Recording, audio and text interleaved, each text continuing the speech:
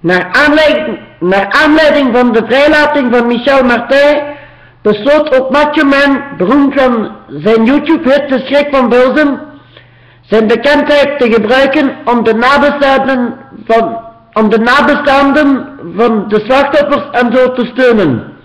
Tijdens hun protestmars om de vrijlating van Michel Martin tegen te gaan.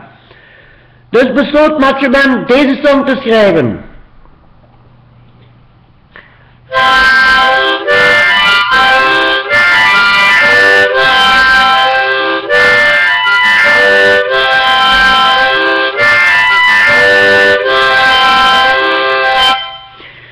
Het was 1996, nu enkele jaren geleden.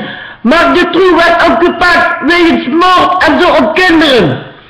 Hij sloot ze op om zonder eten en drinken onder in zijn huis daar beneden. Toen Michel Martijn opgepakt werd, wist ze ervan, maar ze zweeg, dus zijn deze kinderen overleden. Maar Dutroux kreeg levenslang, die komt nooit meer vrij. Hij moet boeten voor wat hij deed en iedereen is blij.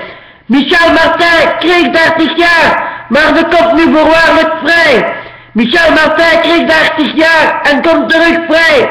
Kan dat in dit land zomaar? Waarom ligt Michel Martin niet in de gevangenis?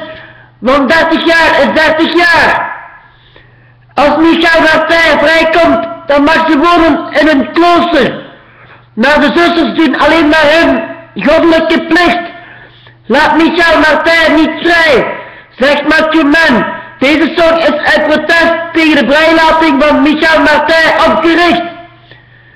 Kregen die slachtoffers van Marc Dutroux ook een tweede kans? Mathieu Man zegt nee.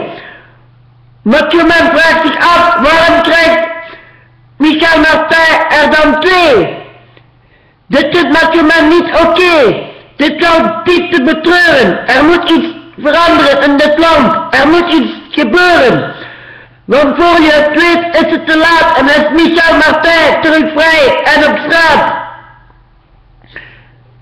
Dit kan diep te betreuren. Dit mag niet gebeuren. Kom op iedereen tegen de vrijlating van Michel Martin. Mathieu Man zegt yes